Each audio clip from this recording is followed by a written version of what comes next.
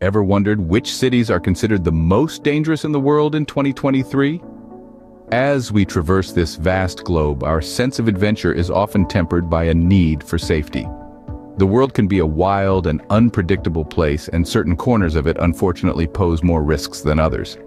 Today we embark on a journey, not of the most picturesque landscapes or the most vibrant cultures, but of the most dangerous cities in the world, as of 2023.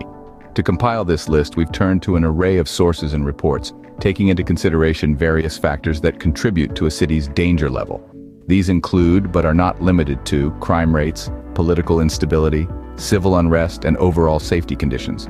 Crime rates can be a significant indicator of a city's safety. A high crime rate can signify a lack of law enforcement effectiveness and a high level of social unrest. Political instability, on the other hand, can create an environment conducive to crimes of all sorts, making life for locals and travelers alike quite precarious. Civil unrest, often a byproduct of political instability and social disparity, can turn a city into a danger zone overnight. Protests, strikes, and riots can disrupt daily life and pose risks to personal safety. Lastly, overall safety conditions encapsulate factors like the quality of infrastructure, access to healthcare, and the prevalence of natural disasters. This countdown isn't aimed to discourage or scare you, but rather to inform and prepare you. Traveling is about embracing the unknown, but it's also about being aware and making informed decisions.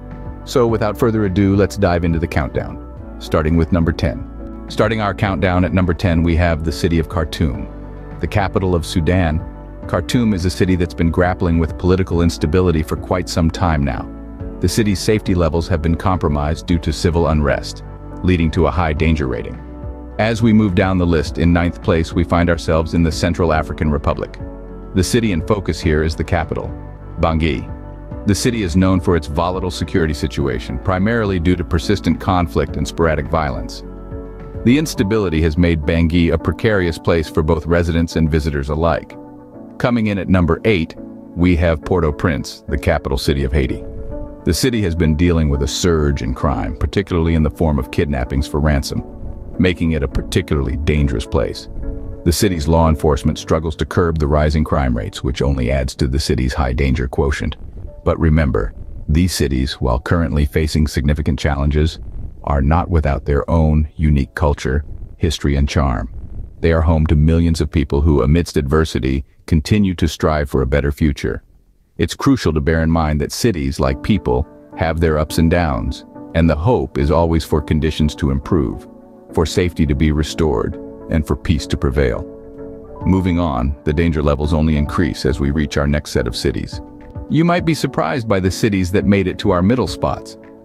Our seventh slot goes to the city of Port-au-Prince, the vibrant capital of Haiti. Despite its natural beauty and rich culture, the city faces significant safety challenges. Political instability, civil unrest, and widespread poverty have fueled a surge in crime rates. The city's struggle to rebuild after the devastating 2010 earthquake has further compounded these issues. Moving on to the sixth position, we find ourselves in Chad's capital, N'Djamena. This city is marked by an unfortunate blend of poverty, corruption, and a lack of basic services. The presence of militant groups and the threat of terrorism further contribute to the city's reputation as a high-risk destination. Despite these challenges, the people of N'Djamena display incredible resilience and a spirit that refuses to be dampened. And now, for number five on our list, Khartoum, the capital of Sudan. As the third largest city in the Arab world, Khartoum has a rich history and a vibrant culture. However, it also suffers from ongoing political unrest, civil war, and economic instability. These factors have led to a rise in crime and violence, making it a precarious place for residents and visitors alike. Each of these cities, while grappling with their own unique challenges, share common threads, political instability, economic hardship, and social unrest.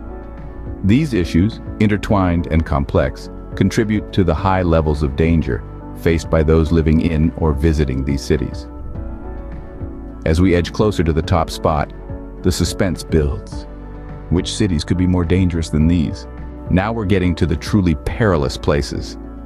At number four, we find ourselves in the heart of the Middle East in war-torn Syria. This city is fraught with civil unrest and political instability, making it a highly dangerous place for residents and visitors alike. Moving on to our third spot, we travel to the Central African Republic. This city is not just battling political instability, but also faces severe threats from crime and terrorism. The daily life here is a testament to human resilience in the face of adversity. Now hold your breath as we reveal the second most dangerous city of 2023. Welcome to Yemen, a city where civil unrest is the order of the day. Living here is a gamble, where peace is a rare commodity and safety, a distant dream. Before we unveil the most dangerous city of 2023, let's take a quick recap of the cities we have covered so far. And now the moment you've all been waiting for. The most dangerous city in the world in 2023 is Khartoum. This city, unfortunately, tops the list due to a myriad of concerns, including extreme political instability, civil unrest, high crime rates, and a pervasive threat of terrorism. It's a stark reminder that not every corner of our world is a safe haven. Now let's take a quick journey back through our countdown starting from Brazzaville, Libya, and Burkina Faso, each with their unique challenges and threats. Then we journeyed to Syria, Chad, and Port-au-Prince, cities grappling with the aftermath of war, political turmoil, and natural disasters. And then we took a look at Yemen and the Central African Republic, where civil strife and humanitarian crises have unfortunately become the norm. Life in these cities can be tough, but it's important to remember that behind these issues are resilient communities, individuals and cultures that continue to fight for a better tomorrow. Stay safe, stay informed, and remember, knowledge is the first step towards safety. Until next time, this is Buckeye Travel, signing off. Thanks for watching.